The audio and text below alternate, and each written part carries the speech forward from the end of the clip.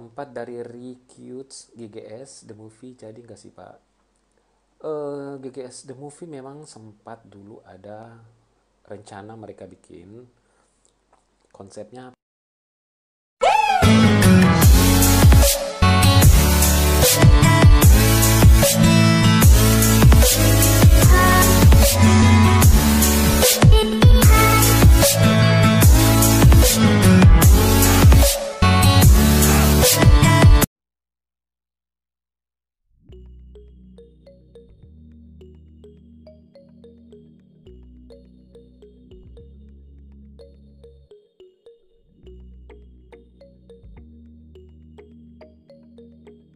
Oke untuk pertanyaan kelima Gimana kok bisa kepikiran bikin sinetron GGS yang se-booming itu?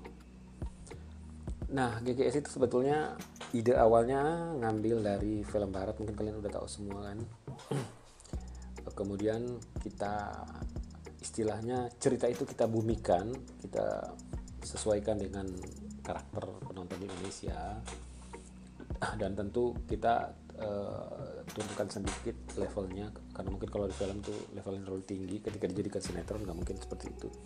Kemudian lalu dari cerita itu kita olah menjadi sinopsis yang sudah disesuaikan kemudian kita tawarkan ke PH TV-nya setuju lalu kita bikin promo kemudian syuting episode 1 Uh, sebelum itu kita ada meeting-meeting dulu penentuan pemain kita disodorin bagan pemainnya ini ini ini okay, kita oke okay, enggak kita diskusiin lagi.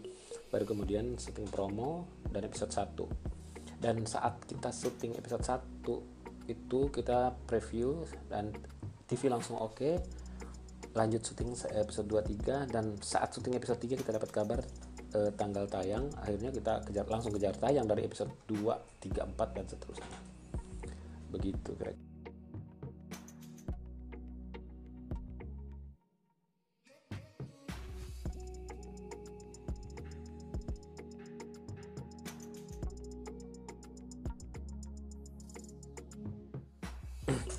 Yang ketiga ada rencana bikin GGS season 3 nggak Pak?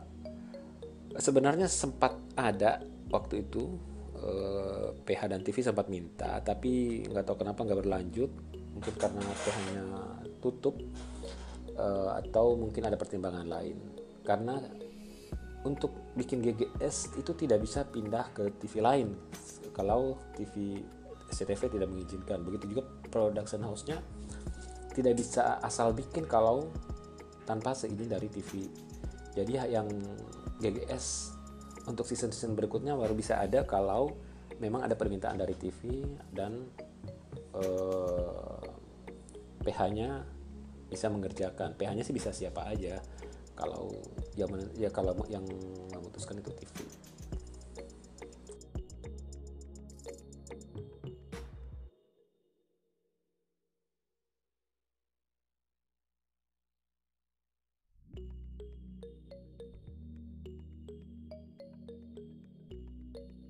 dari Recutes GGS The Movie jadi nggak sih Pak? Uh, eh, GGS The Movie memang sempat dulu ada rencana mereka bikin. Konsepnya pernah dua kali saya diminta konsep udah di, udah udah saya serahin tapi nggak ada kelanjutan. Uh, pertimbangannya saya kurang tahu kenapa uh, mungkin ada pertimbangan sendiri dari TV dan PH-nya sampai nggak jalan mungkin faktor pemain yang agak susah untuk menggabungkan pemain yang lama uh, dan pemain yang sama itu nggak gampang sebenarnya. Karena mereka punya kesibukan masing-masing sekarang. Oke untuk